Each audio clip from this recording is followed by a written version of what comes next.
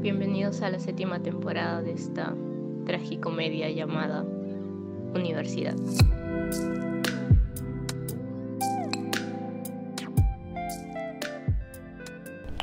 Ya he llegado hace un rato, ya hace algunos minutos, y pues son como la una y media. Mi clase comienza a las 2, 2 y 15 y no conozco a nadie. la facultad está vacía, más o menos vacía. Solo hay gente en el segundo piso. Me he venido al cuarto piso a grabar porque aquí no hay nadie. Bueno, solo hay unas personas por allá, pero están un poco lejos.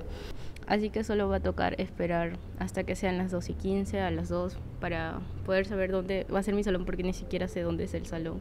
Y hoy tengo cuatro cursos de corrido. O sea, empieza como a las 2 y, me, 2 y 15 hasta las 10 de la noche. Seguro va a haber tiempo entre curso y curso, 5 o 10 minutos. Presencial solo voy a tener eh, una vez a la semana. Después todos los otros días, los otros cuatro días son clases virtuales completamente. Así que solo voy a venir una vez a la semana. Ok, vamos a parar aquí porque a partir de este momento todo empezó a ser tan surreal y tan y a suceder todo tan rápido que no pude grabar mucho porque de clase en clase no había ni siquiera tiempo. Pensé que ese día nunca iba a llegar, pero llegó y entonces fue extraño.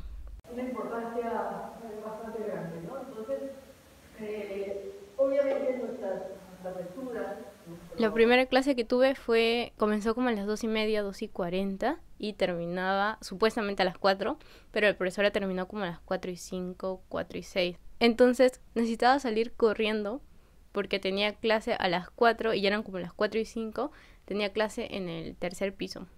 Y entonces no hubo tiempo para grabar nada en ese momento.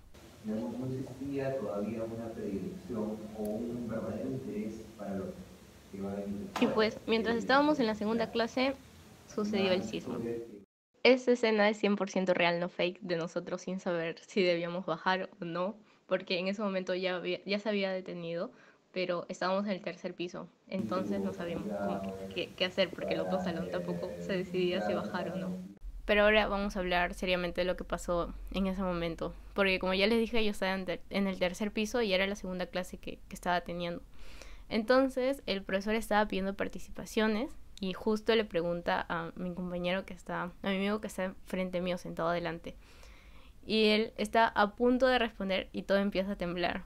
Y ya, ya sé qué estarán pensando de la que se salvó. Y entonces como empezó a temblar, el profesor estaba demasiado tranquilo y solo decía, tranquilos, tranquilos, ya va a pasar. Y nosotros estábamos también tranquilos en ese momento porque al principio sí fue como que despacio. Pero luego de eso empezó a moverse más fuerte. Entonces ya creo que nos vio con cara de, desesperados y nos dijo, ya, vayan saliendo. Pero, o sea, desde que empezó a temblar hasta que salimos, sí habrá pasado como mínimo medio minuto. No, no sabíamos si salir o no salir. Entonces ya creo que fue por eso, porque nos vio asustados, aunque no estábamos tan asustados, pero bueno, tal vez sí. Eh, nos vio asustados y nos dijo que vayamos saliendo de uno en uno.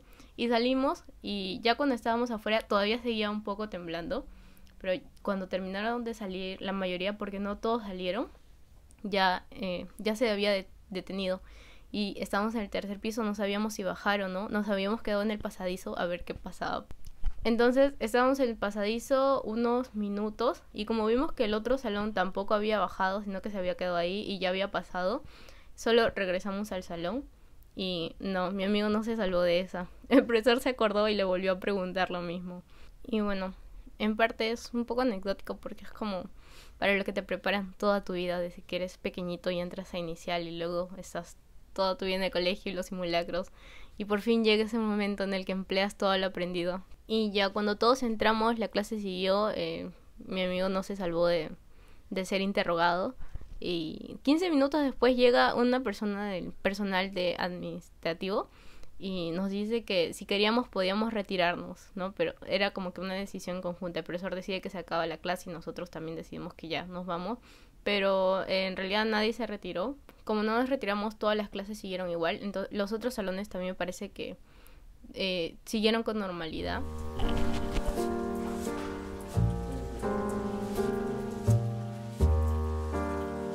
Esta clase sí terminó como 10 minutos antes, entonces sí pude grabar algunas cosas, aunque no tanto porque estaba buscando el salón y cuando ya habíamos llegado, pues ya ese salón ya estaba lleno. O sea, no lleno, sino que ya habían compañeros. Entonces estuvimos un ratito en el pasadizo y luego entramos.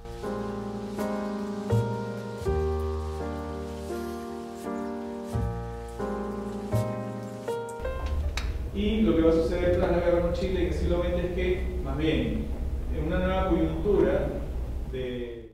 Termina la clase de las 8 de la noche y literal corrí hasta el segundo piso porque la clase que había tenido estaba en el cuarto piso. Corrí hasta el segundo piso porque tenía ahí otra clase con una base diferente. Entonces eh, me paro yo afuera, el profesor me dice que pase, pero todavía no había comenzado la clase. Paso y lo primero que digo fue buenos días enfrente de todos. O sea, no le dije fuerte, se le dije al profesor. Le dije buenos días a las 8 de la noche. Y no me había dado cuenta hasta que entro, me siento y me doy cuenta que le dije buenos días. dije, ¿por qué le dije buenos días? Pero bueno, ya había pasado. Y lo peor es que no conocía a nadie ahí. Entonces sí, que como...